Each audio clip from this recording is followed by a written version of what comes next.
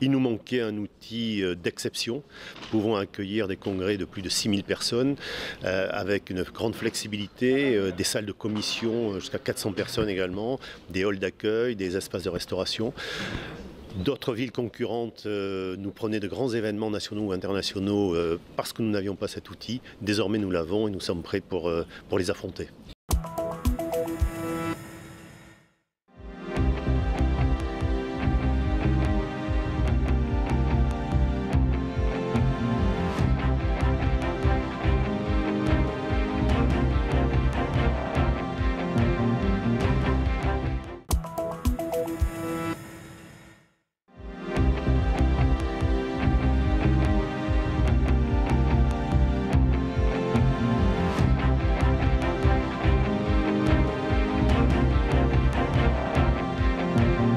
De pouvoir euh, les approcher comme ça d'aussi près.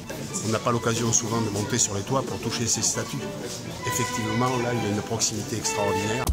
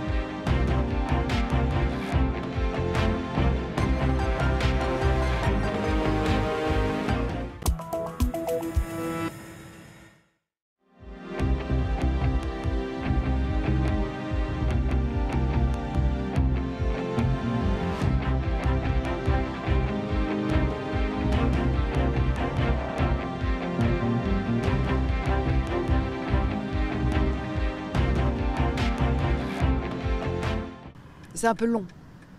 Voilà, on, fait, on, est, on risque d'être moins vigilant. Je voudrais que le monsieur qui a choisi de nous faire rouler à 80 à l'heure vienne un peu, voir ce que ça donne pour savoir ce qu'il faut faire. En fonction de la configuration du lieu, effectivement, on pourrait adapter la, la vitesse.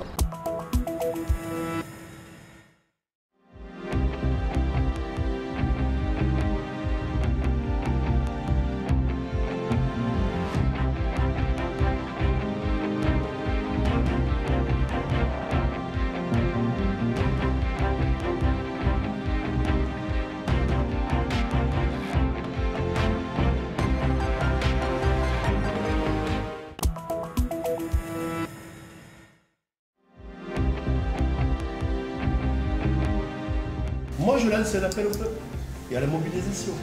Donc, je lance un appel au peuple, aux élus et à la révolte sur tout le bassin à Garonne.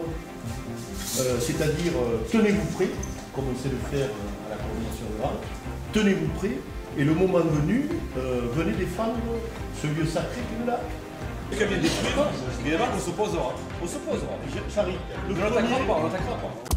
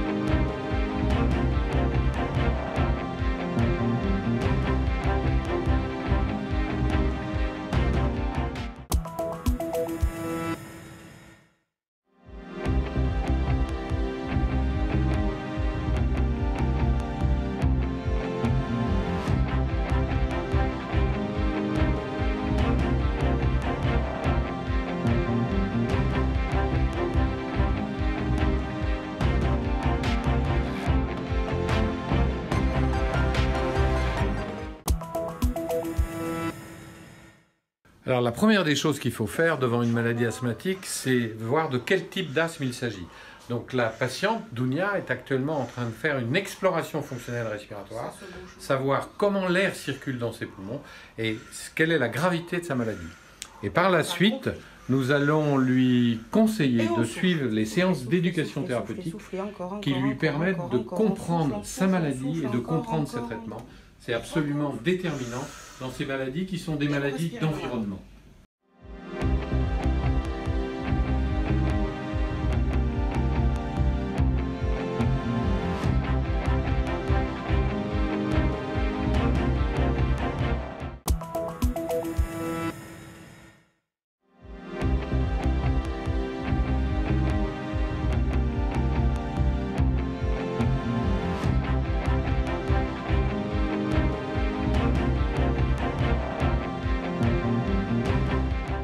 L'objectif des fouilles qui ont été ouvertes ici, c'est de préciser l'architecture du monument, euh, voir de quelle manière on peut avoir des, niveaux archéologiques conservés, notamment des, dépôts funéraires, parce qu'on est sur une tombe collective qui a été sans doute utilisée pendant plusieurs, euh, plusieurs générations.